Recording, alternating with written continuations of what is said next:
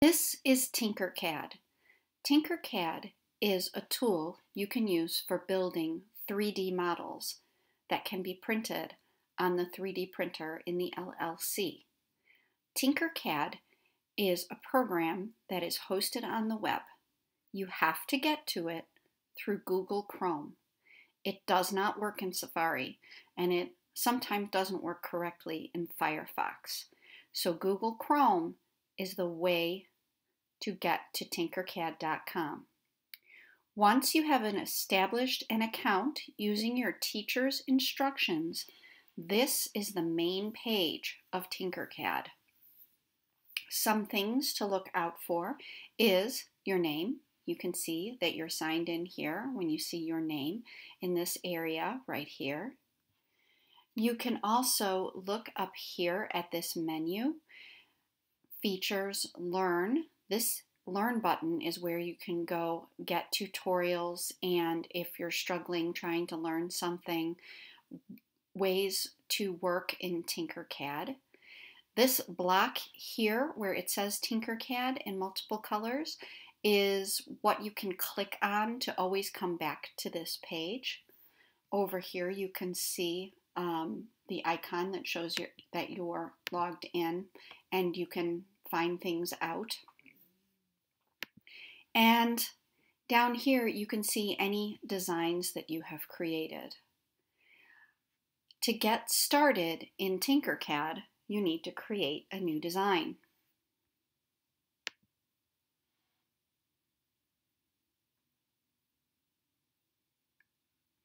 This is the workspace that you will be working in when you are designing 3D projects. It says beta right now, and at some point in the future, this may go away because the beta view is the view that will be the regular view in a few days. As I said, the multicolor Tinkercad logo is where you can click to go back to your home page. Right here is the name of the file that we have created, and Tinkercad will always create a nonsense name. If you want to change your file name, all you have to do is click on this nonsense name and it will highlight, and you don't have to delete it out, you can just start typing. So let's just call this test house. Up here in the very top toolbar, the only thing we're going to worry about right now is this view here. This is where you need to be. If you're someplace strange, make sure that this little workspace, work plane um, icon is checked. The next toolbar has a number of tools that you may use while you're working. There is a copy button. It says Control C. Remember, you are in the world of Mac, so anywhere it says CTRL, you're actually going to use your Command key. Here's Paste. Here's Duplicate. Trash, of course, where you can throw things out. Very important, your Undo button. You can up, undo up to 20 steps and your redo button. These buttons over here will become active when you have an item on your work plane. Over here is your Shapes pane. This is where you can find items to drag over to work on in your work plane. When you build something in Tinkercad for 3D printing, you are going to build it out of these shapes that are available to you. You have other items available to you by clicking on the arrow, and you will see there's basic shapes, text, symbols, connectors, etc. We're going to be concentrating on basic shapes to start with. To the left in the workspace, you will see a cube.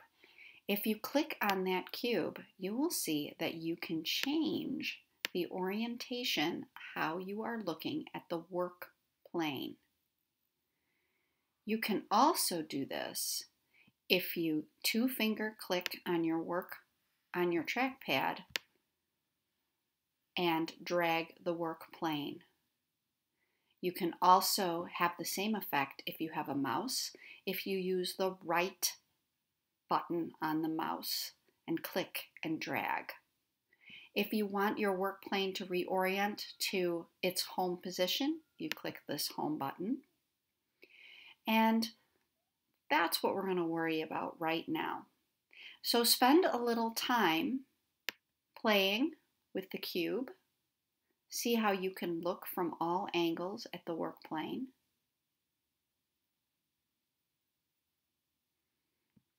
Use two fingers on your trackpad to click and drag for the same effect.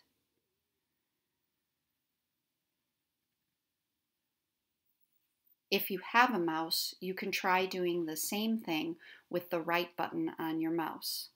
Once you have done all of these things, please move on to the next video.